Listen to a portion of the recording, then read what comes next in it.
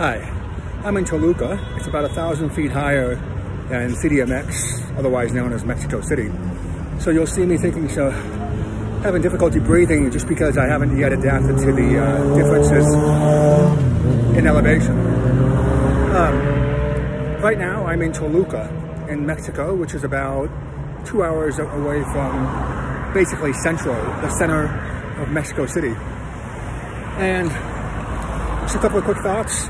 Uh, Toluca is a, is a, is a cute place and you probably want to give yourself, you know, a couple days to adjust to the elevation if you're coming from sea level uh, or close to sea level like I am. What you'll notice is in, in, a lot of these older places is that, you know, you've got a, a section of the town that's almost what is known as a tourist section. This is not it. Um, this is pretty much where the locals are and the tourism place would be primarily a place with foreign investment. And so if you, if you think about the places I've seen in Toluca, one of them would be essentially a, an American outpost.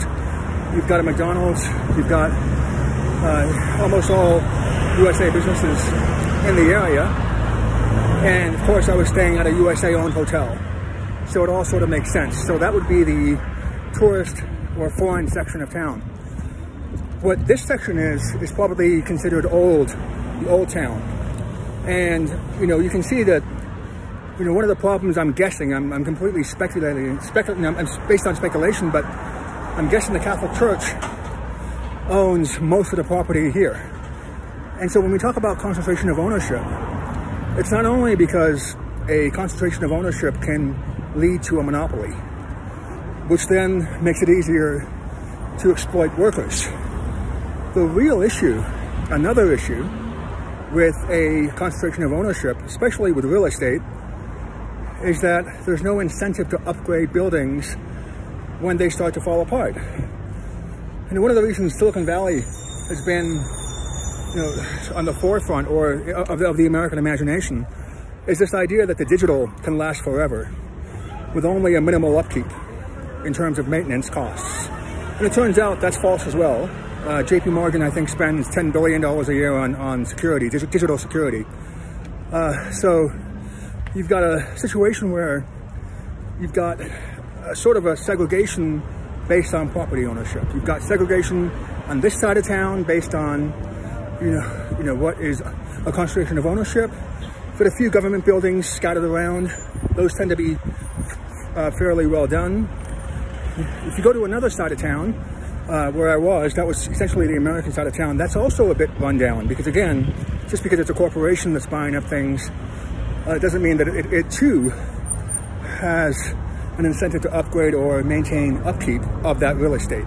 So overall, you know, the other part of town that I went to, well, it was actually not, not wouldn't be considered part of Toluca. It was a really nice place called Metepec. And that place was sort of almost like a small European village. That was the nicest place I went to, but you have to pretty much go to a specific section of that town. And it's not easy to find. And, you know, that way, in, in that town, you could see, you know, there, was a lot of, a, a, lot of diversity within the businesses, which indicates uh, diversity of ownership, which kind of makes sense when you think about it. Um, so I think that when we're talking about, you know, all these sort of broad you know, economic theories, a lot of them don't account for law. In other words, the tendency of the prevailing class to establish protection of their neighborhoods uh, based on, you know, either uh, legislation or some other form of, of uh, trying to think of what the right word would be. Oh, this is a, a library. So like I said, the government buildings tend to be fine.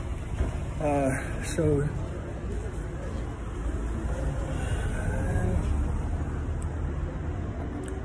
and in fact, there's a cafe right over here as well that looks nice. And of course, it's right next to the library, which is nice. So not a coincidence. Um, but again, it's something to think about when we think about e economics. It's not only a purely financial transaction, there's a tendency for not only people, but businesses to, to, to clump together. And when that happens, you've got a situation where you've got segregation And then you have less incentive for outsiders to come in because of that legislation aspect, of that lobbying aspect we just talked about. And if that happens, you're going to end up with a situation where you sort of don't, you haven't built a, city in the way that it should be built. And that means, and by that I mean that it hasn't actually, it's not a place where you maximize the uh, potential of every citizen and every resident within that city, which is really what a city should be about. So when you look at businesses and you go and, and walk around, try to take a look at, you know, which areas are run down, which areas are doing well, and then try to project 50 years out. You know, what, what, what is this place going to look like? And what policies would, should be put in place uh, that would be favorable to not only a diversity of, of experience, but a diversity of ownership.